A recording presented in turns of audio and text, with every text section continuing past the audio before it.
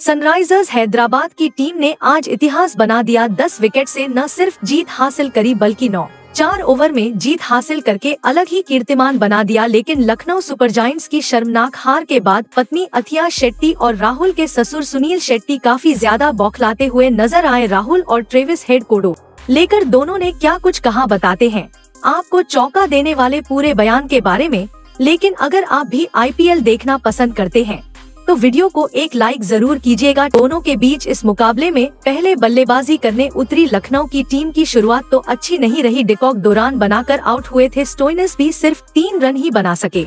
राहुल ने धीमी गति से बल्लेबाजी गई और 33 गेंद में 29 रन बनाए। अंत में पूर्ण ने 26 गेंद में 48 रन की तेज पारी खेली तो 30 गेंद में 55 रन बडोनी ने भी लगाए, जिसके चलते टीम 20 ओवर में एक सौ पैंसठ रन तक पहुँच पाई और उसके जवाब में बल्लेबाजी करने उतरी सनराइजर्स हैदराबाद की शुरुआत बेहद ताबड़तोड़ रही। हर बार की तरह अभिषेक शर्मा और हेड का तूफ़ान पहले ही ओवर से देखने को मिला। हर एक गेंदबाज को अपना शिकार बनाया गया चौके और छक्कों की शुरुआत में ही बारिश हो रही थी। बल्लेबाजी इतनी ज़्यादा आक्रामक थी कि सिर्फ़ 16 गेंद में ट्रेविस हेड ने अपना अर्धशतक पूरा कर लिया था। पाँच ओवर में टीम 80 के आंकड़े को पार कर चुकी थी। आपकी जानकारी के लिए बता दे कि दोनों ही तरफ़ से बल्लेबाजी में तूफानी सिक्स देखने को मिले अभिषेक शर्मा ने 28 गेंद में 75 रन की नाबाद पारी खेली तो वहीं ट्रेविस हेड ने 30 गेंद में नवासी रन ठोक दिए और अपनी टीम को 10 विकेट से बासठ। गेंद शेष रहते ही जीत दिला दी टीम की जीत के बाद आपको बता दें कि काफ़ी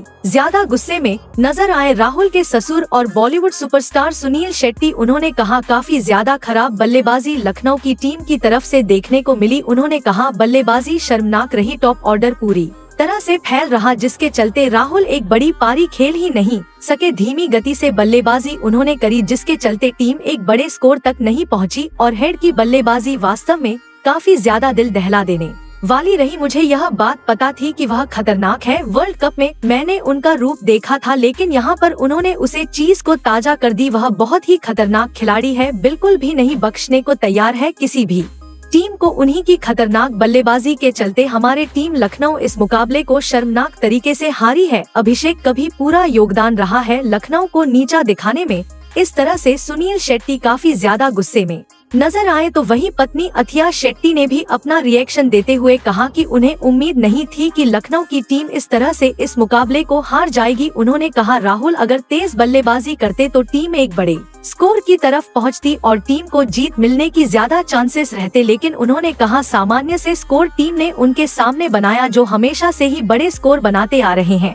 हेड और अभिषेक काफ़ी ज़्यादा खतरनाक। खिलाड़ी है। इन दोनों खिलाड़ियों ने इस हार के बाद हमारी टीम का सपना लगभग तोड़ दिया है। प्लेऑफ में जगह बनाने का यह हमारे लिए काफ़ी धोखा दिया और हर एक लखनऊ की टीम के फ़ैन के लिए शायद अब हमारे लिए प्ले ऑफ़ की दौड़ काफ़ी ज़्यादा मुश्किल होती नज़र आ रही है। और इसकी जिम्मेदार ट्रेविस हेड और अभिषेक शर्मा है। इस तरह से पत्नी अथिया ने अपना रिएक्शन दिया, लेकिन आप सभी को क्या लगता है किस वजह से हारी लखनऊ की टीम? कमेंट सेक्शन में बताइएगा।